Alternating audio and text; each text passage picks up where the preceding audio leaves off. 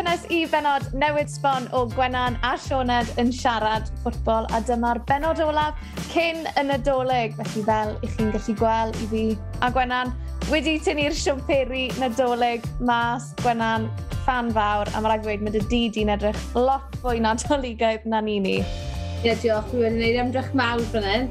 Uh, a'r jumper, a'r gol all out ar gyfer hwn, jyst i chi. Wel, mae wedi bod yn wythnos hynod o brysur yn y brif adran Genero gyda'r holl wedi digwydd wythnos yma a'r pedwar ucha a'r pedwar isa wedi i cadarnhau ar gyfel ail rhan y tymor. Felly gewn ni'r holl uchafbwyntiau o'r cyffro a byddwn ni hefyd yn cael ymateb o rai o'r clybiau sydd yn y pedwar uchaf a'r pedwar isaf. Fel arfer, i ni'n mynd i fod yn trafod yr holl beth fan hyn. Felly, Gwennan, lot fawr i drafod wythnos yma. Oes, um, a fel wedyn ni, ti'n pethefnos yn ôl, oedd pethau'n rili really poethu, cyfnod rili really cyffroes, ond mae wedi byw lan at hwnna, so edrych ymlaen i trafod ymhellach. Yn bendant, gewn ni ymateb Gwennan yn y man, ond cyn i ni fynd mewn i bethau, beth am i ni edrych yn ôl ar yr uchaf bwyntiau o'r wythnos diwethaf? Roedd na gêm fawr tu a gwylod tabl y brif adran bythefnos yn ôl wrth i'r seintiau newydd a Fort Talbot fynd ben-ben. A'r seintiau ddechreuodd y cryfa o'r ddau dîm gan ennill Cicor Smotin yn dilyn tacl gan Chelsea Harris ond Emily Roberts yn arbed ymdrech Laxi Harrison yn dda. Llwyddodd y seintiau i achub y blaen 10 munud yn ddiwedd arach. Has gywir gan Georgia Griffiths yn canfod Caitlin Chapman yn rhydd ac ergyd yr ymysodwr yn rhy isel i'r golwr. Gyda hanner amser yn agosau, dyblwyd mantais y tîm cartra wrth i Lexi Harrison wneud yn iawn am fethu i chic o'r smatyn a sicrhau tri phwynt holl bwysig i'r seintiau newydd. Bnawn Sul roedd angen pwynt yn unig ar Aberystwyth yn erbyn Port Talbot i sicrhau lle yn y pedwar ucha gyda Abertawe, Met Caerdydd a Chaerdydd. Pew yn colli allan i O'Donnell. Kirsty O'Donnell. O, yn troi ti fewn yn hyfryd, y croesio'r isel. Mae'n cyrraedd Freya Davies, a mae'r bel yng nghefn yr hwyd. Mae Thaios ar y llinell yn methu ei stopio hi. Trydedd gol Davies o tymor hwn, a'r tîm cartre'r yn isgwl braidd ar y blaen wedi 4 munud ar ddeg. 10 munud tan yr egwyl yn gigornel gan Thomas. Yn adlamu'n y cwrt! A mae Thaios yn rhwydo. Gol un o chwaraewyr mwyaf cyson Aberystwyth. Fe fethu ni ag atal y gol y pen arall, a mae wedi sgorio'r pen yma. Cooper, yr eilydd, yn bas lawr yr asgell yn chwilio am Jenkins. Mae'r amddiffynwr yn dod draw. O, Chambers yn trio ennill y bel. Mae'n gico'r smotyn i Aberystwyth. Byddai pwynt yn ddigon i sicrhau lle yn y pedwar ucha. Ydy hwn yn mynd i sicrhau'r tri pwynt. Mae nhw ar y blaen gyda 17 o funud ar ôl. Jenkins yn ennill y gig a Jenkins yn ei sgorio i hefyd. Mae'r amser yn prynhau i Bart Talbot. Mae Aber yn edrych fel bod nhw'n diwod yn rhan yr ucha yna. Yr argyd! Sexton yr eilydd oedd yno, ac Ashman, y golwr yn arbed yn gampus. Fi wedi bod yn y clwb am mwy na deg mlynedd, a i fi nawr, amser doleg, top half nawr o'r, or um, table, just over the moon. Really, really um, bles iawn, a proud as punch. Roedd na gêm a hanner tua'r brig hefyd dros y penwythnos gyda thrydydd yn herio ail yn arbu'r brif ddinas. Y myfyrwyr aeth ar y blaen wedi 20 munud diolch i waith unigol Laura May Walkley. A byn munud cyn yr egwyl dangosodd Walkley ei dycnwch a'i dyfal barhad unwaith eto, yn torri mewn o'r chwydd cyn curo Cerin Chamberlain ar ei ffostyn agosa tro hwn. Yn fuan yn yr ail hanner roedd Caerdydd yn ôl yn y gêm diolch i gicor smotyn Phoebe Poole ond 10 munud yn ddiweddarach ac fe sgoriodd Met eto. Erin Murray yn canfod rhediad Sophie Hancocks a Heath yn gorffen yn glinigol. Yr oedd na bedwaredd i'r Met gyda chi col ar gêm. Ergyd Sophie Hancocks yn rhy boeth i Chamberlain a'r captain Steph Turner y cyntaf i ymateb. Felly, gadarnhau Abertawe, Met Cyrdydd, Cyrdydd ac Aberystwyth fydd y pedwar uchaf Fel o'n i'n disgwyl Abertawe Cyrdydd, Mes Cyrdydd, o'n i'n amlwg yn disgwyl i nhw fod yn y pedwar uchaf, ond beth ti wedi wneud o Aberystwyth? Mae'n lwyddiant arbennig i nhw. Ydy, ma fe, a fi'n credu bod y be, chwech, saith gêm diwetha, maen nhw wedi bod ar rediad yn berin. Credu dim ond unwaith, maen nhw wedi colli yn, yn y pimp, o leia pimp diwetha. Um, maen nhw wedi really adeiladu momentum, a nhw yw'r unig rai o tîmau sydd wedi cymryd pwynt oddi ar Abertawe hefyd. So dangos sut mae hyder yn gallu codi fel mae tymor yn mynd ymlaen, sut mae'r strwythurau o fewn tymor, mae ma, ma tîmoedd yn addasu, chwaraewyr yn addasu, a wedyn mae hwnna'n adeiladu momentum. A chwarae teg, maen nhw wedi bod ar rediad ar, arbennig, a mae'n hyfryd i weld nhw yn cam i mewn, a gobeithio na, maen nhw'n gallu mynd cam ymhellach a parhau i ddatblygu ar y perfformiadau yna. Yn bendant. A o ran Cyrdydd a Met Cyrdydd, dim ond triffoint sy'n gwahanu nhw ar hyn o bryd, Met Cyrdydd yn ail, Cyrdydd yn drydydd, felly mae hwnna mynd i fod yn frwydr ddiddorol iawn rhwng y ddau glwb na. Ydy, ac o'n i'n o'n i'n really, really cyffroes am y gêm yna um, rhwngthyn nhw, achos o'n i'n meddwl, twa, ma, y ffordd mae'r tymor wedi bod, oedd pwysau ar ddau clwb os o'n nhw'n moyn parhau twa, reit o dan Abertawe. Um, Ie, yeah, a jyst diddorol sut aethau, e, achos yn amlwg Caerdydd wedi cael gemau rili really agos gyda Abertawe, ond on yn amlwg jyst am ddiffyn weddol wael ar y degau di caniatau i Met Caerdydd, er, cwbl o golau gwych gan, gan y Met, ond on, ie, yeah, jyst bach yn llac yn amddiffynol sydd wedyn di gadael met, mewn i'r gêm yna, so fydden nhw yn, yn sicr moyn talu'r pwyth yn ôl pan nhw'n chwarae'r gêm nesaf yn erbyn nhw.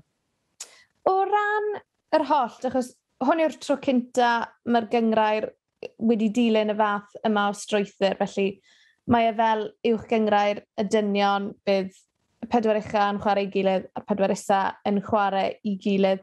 Beth i ti'n credu allwn ni ddisgwyl o'r tîmau ar y brig a i ti'n credu bod y fformat newydd mae'n mynd i weithio? Ie, yeah, fi yn, fi'n rili mwynhau e, achos fi'n meddwl fel wedi, blaen fi'n meddwl bod e'n rhoi fwy o, o pwyslais i pob tîm, bod yna rhywbeth i frwydro am trwy'r adeg, hyd yn oed yn y canol, fyna brwydro am y safle pedwerydd, A nawr mae fe'n rhoi fel impetus newydd. So mae fel dechrau o dechrau eto. So mae, mae gyda chi cyfle mor dda just i, i adeiladu momentum fel wedyn ni hyder a'n amlwg twar, i tîm fel Abertawe, mae pwysau ymlaen, maen nhw'n gwybod bod nhw ar frig, maen nhw yn dod i arfer gyda'r pwysau yna delio gyda fe, ond mae pawb yn mynd amdano nhw trwy'r amser. Um, so bydd e'n, well, bydd e'n cyffroes, ond bydd e'n diddorol gweld os mae yna newid yn y systemau, yn y, um, you know, tactegau, fydd yna newid yn y systemau maen nhw'n chwarae, i fynd yn fwy ymwysodol, achos pam ddim nawr, cer amdani, sdim byd i golli. A jyst i glod cyn i ni symud blaen, Abertawe nhw yw'r unig dîm yn y gyngrair sydd heb golli gêm eto. Ti'n credu gall unrhyw un stopo nhw, ti'n credu Gwens? Na, um, os fi'n onest, o'n i wedi syni gweld nhw um, yn amlwg yn gollwng pwyntiau o chwarae teg i Aberystwyth yn arbennig yn y ffordd. Twan, nath nhw setio hunan lan yn y gêm yna. A wedyn syni, actually, bod nhw wedi eilio gol um, ar y penwythos, cos mae hwnna ddim yn rhywbeth ni'n gweld yn aml chwaith. So falle maen nhw'n cael bach o wobl, ond mae'r wobl yna ddim yn un, felly mwyafrif o'r tîm oedd yn, yn ystyried yn wael iawn. Um, fi, fi jyst yn teimlo, fi wedi gweud reit o, o dechrau, mae ma amddiffyn nhw mor mor dda, mor grif, mor gadael, a mae hwnna yn rhoi sylfaen i nhw wedyn, a mae chwaraewyr profiadol gyda nhw o fewn y gyngrau sydd yn, jyst yn gallu creu rhywbeth allan o, o dim byd yn wedig blaenwyr nhw. So, credu mae jyst bach gormod o ddymder, ond, fel ni wedi gweld yn y cwbl o gemau diwetha, chi byth yn gwybod, so pwy o oer. Hwna'n bwynt da, dyw wobbles Abertawe ddim really yn wobbles na gyda Gwennon, ond falle tawn na fe maen nhw'n ystyried nhw fel. O fel i ni wedi clywed nath Aberystwyth sicrhau ei lle yn y pedwar uchaf dros y penwthnos gyda'r fuddugoliaeth yna o ddwy gol i un dros Fort Talbot a ges i sgwrs gyda'r rheolwr Gavin Allen a'r captain Kelly Thomas i weld siwrd o'n nhw'n tymlo ar ôl y fuddugoliaeth. Gafin, a'i ddod atoch chi gynta, siwr chi'n tymlo balchder, ryddhad, combination o bach o bopeth? Uh, neithiwr oedd e'n oedd e'n bws hapus iawn i ddod adro o Port Talbot. Uh, y waith calad sydd wedi mynd ymlaen, uh, y merched, y tîm, tîm y fforddi, uh, a rhaid i fi ddweud, yn personol o'r gemau da ni wedi gwneud, o'n i'n meddwl oedden ni'n, ia, oedden ni'n deserfio fe ddweud i gwir. Yn bendant, a Ceris, chi wedi bod yn rhan o'r clwb ers dros 10 mlynedd. Mae rai bod y ffaith bod Aberystwyth nawr yn cael ei ystyried ymysg goreion a gyngrair ar gyfer y tymor yn tymor fel yr anreg nadolig. Wel, gorau gallu ti wedi gofyn amdano? O ddo yn diwrnod emosiynol iawn i fi, um, yn enwedig fel capten nawr am y tro cynta, brave man gaf, ond uh, diolchgar iawn i cael y cyfle a um, mor falch dros uh, y clwb a'r merched. Ni wedi gweithio mor galed fel mae Gaf wedi gweud, Lenny. O'n i'n gwybod o'r rhaid i ni, ni stepio fel lan, Lenny, um, ar ôl y restructure. Um, oedd lot o pobl wedi gweud o'n i ddim yn heiddi bod yn, y, yn yr adran a o'n i ddim yn digon da a rili teimlo nawr ar ôl ddo bod ni wedi profi lot o bobl yn rong uh, ddo o weekend, wel, dros y tri mis diwethaf.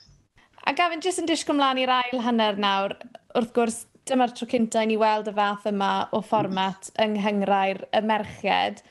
I chi'n disgwyl mlaen? Be, beth i chi'n disgwyl? Achos bych chi'n wario Met Cyrdydd, Cyrdydd a Bertawe nawr, nhw fydd y rei bych chi'n ffocysu ar, I chi'n disgwyl mlaen? Uh, nes i ddweud yn dechrau flwyddyn, y gol oedd, bysa ni'n gallu gorffan y bedwerydd. Uh, I fi'n bersonol ag i'r clwb yma, mae rhaid i ni fod yn edrych i fyny yna dim i lawr. Da ni wedi cael dwy flynedd, tair flynedd reit gwael yn, yn, y gwyl gwylodion, blaw i edrych i fyny. Fe ni, fe ni chwarae yn erbyn Abertawe? Wel, da ni wedi gweld bod ni'n gallu chwarae yn erbyn Abertawe. A da ni chwarae ddau gardydd y flwyddyn yma a chwarae teg, oedd nhw yn lot gwell na ni ni'n gwybod bod bydd rhaid i ni gweithio'n rili, really, really galed nawr, ond um, fi wedi gweud trwy'r uh, tymor yma, os ni moyn gwella, ni moyn, moyn bod lan na a chwarae mor dda a beth maen nhw'n gallu gwneud, uh, blwyddyn nesaf, mae rhaid ni dechrau paratoi nawr a i wneud na, na gyd ni'n gallu wneud i'w chwarae'n erbyn nhw. Um, felly, o, ie, yeah, ni'n mynd i fod yn underdogs, ond uh, ni wedi profi bod ni yn gallu cystadlu yn erbyn y tîmoedd fel na um, weekend diwetha yn erbyn Abertawe. A am y tro gynta erioed, probably, um, dros um, amser fi yn Aberystwyth, mae merched nawr yn really dechrau credu bod ni yn gallu uh, cystadlu a ni yn gallu rhoi sioc i ambell un tîm. So, gen i weld. Llawn gyfyrchiadau enfawr unwaith eto i Aberystwyth. Nawr o ran y pedwar isaf, Portalbot, Pont y Pryd, y Seintiau Newydd a'r Bari yw'r clybiau fydd yn rhan is y gyngrair ar ôl y flwyddyn newydd. A dyma oedd ymateb rheolwr Portalbot, Hayley Williams, ar ôl i'w ffawd nhw yn y pedwar isaf cael ei gadarnhau dros y penwthnos. We're a bit disappointed with how it's gone, but considering everything was against us at the start of the season, we didn't even think we'd finish phase one, I thought, to be honest. I thought we were going to have to throw the towel in, so I think Christmas has come at a good time now. Have a break, do some team bonding activities, get the girls together, regroup, and then we'll give it our best shot. So yeah, we are looking forward to it, and um, I just want to take this opportunity to wish Arbor all the best because I think they've improved so much over the last couple of years. They thoroughly deserve to be in the in the top half.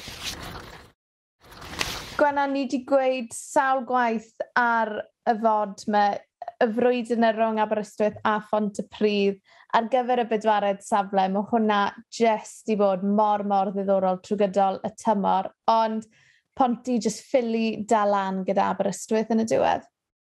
Na, fi credu canlyniadau ddiweddar Aberystwyth wedi bod yn arbennig fel wedi jyst really di adeiladu um, momentum gyda'r redyr yna a Pontypridd wedi bod yn anghyson, a maen nhw actually wedi cael eu tynnu nôl mewn nawr i'r rwydr gyda'r canlyniadau ddiweddar gyda'r seintiau newydd a'r bar i'n pigo lan bydd y goliaethau yn y pethefnos diwetha. Maen nhw wedi cael eu tynnu mewn i'r brwydr yna. Twa, un bydd y goliaeth bach arall i twa, y tîm oedd sydd oedd i dan nhw, ond maen nhw reit, reit yng nghanol i. Um, ond eto, fel wedyn ni, o'n i moyn hwn, o'n i moyn bod yn cyffroes pob man yn, yn y tabl a ma fe. Ti di sôn yn barod bod ti'n fan o'r fformat newydd a bod ti'n disgwyl ymlaen i weld beth sy'n digwydd o ran y pedwar, pedwar uchaf. O ran y rhai ar y gwylod, ti'n credu bod e'n mynd i fod yn well i nhw achos bod nhw'n chwarae yn erbyn clyfiau sydd ar yr un lefel a felly bod yn fwy o her, achos fi'n credu o ran y gwylod, neu'r un, mae'n rili, really, rili really anodd dyfalu beth sy'n mynd i ddigwydd. Wel, mae'r pwysau yn y pob gêm, a dyna be, be fi'n really hoffi, cos weithiau ti'n mynd i chwarae'r met a Abertawe, a chi'n teimlo fel, o, oh, mae'r pwyso, mae pwyso off sy'n hyfryd, achos nawr chi'n gallu treialu pethau gwahanol, ond nawr fan hyn, dyma'r gemau sy'n bwysig, dyma pam pryd mae chwaraewyr rili really angen camu lan a perfformio'r gorau nhw ac yn neud yna'n gyson, nid falle fel ni wedi gweld yr angystond y byna yn y gyngrair. So, fi'n rili really hoffi e, a oherwydd y um, cysond y byna yn y safon, bydd e gobeithio yn cael y gorau allan o'r chwaraewyr yna yma nawr yn wythnosol. Um, a mae popeth yn golygu gymaint. So, pob gêm yn golygu rhywbeth. So, mae'r pwyntiau yna. Maen nhw'n mynd i adeiladu lan um, yn go gyflym. Achos fe, fe, fe fydd un clwb yn disgyn o'r gyngrair ar ddiwedd y tymor. Felly, maen nhw hefyd yn mynd i orfod delio gyda'r pwysau yna. Ta, ta, dim ond un fydd yn mynd lawr as dim un o'r clybiau yna. Lai like, wneud yn siŵr, byd nhw ddim o'i mynd lawr o gwbl. Na, yn union, a dyna beth sydd wedi bod yn neis yw gweld, fel wedi yw Seintiau yn pigo lan y bydd y goleth yna pethefnos nôl, a Barry yn brwydro syth yn ôl, maen nhw wedi tynnu Patalbot yn reit mewn i fe, a os maen nhw, y tri yna yn cael bydd maen nhw'n tynnu Pont y Pryd nôl mewn hefyd. Um, so mae'r ma, pwysau yn amlwg fyna, ond beth sy'n neis yw bod e ddim un tîm reit reit ar y gweilod sydd falle redeg allan o gobaith mae pob gêm yn mynd i cyfri a cymryd y pwyntiau yna oddi ar y gilydd. Fi'n fi fwy cyffroes, os fi'n onest, i gweld y datblygiad yn, yn y pedwar isaf, na sy'n yr ail hanner tymor, na'r pedwar uchaf, achos mae'n e mor agos. Bach o frec nawr dros cyfnod yn y doleg, dros y flwyddyn newydd, felly gwenan digon amser i'r tîmau cael bach o hoi, ymlacio tymor bach a wedyn barod i fynd ym mis Chwefror.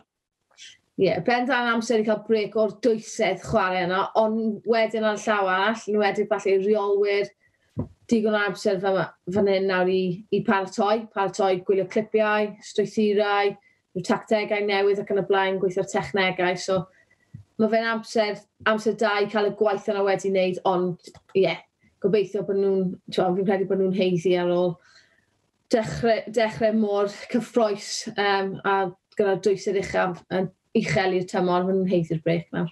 Ar y nod yna, rhywun arall sy'n heiddi brec yw Gwennan Harris, achos Gwennan ti wedi bod yn gweithio non-stop, ti wedi bod yn ymuno a ni fan hyn ar Gwennan a Sioned yn siarad ffobl.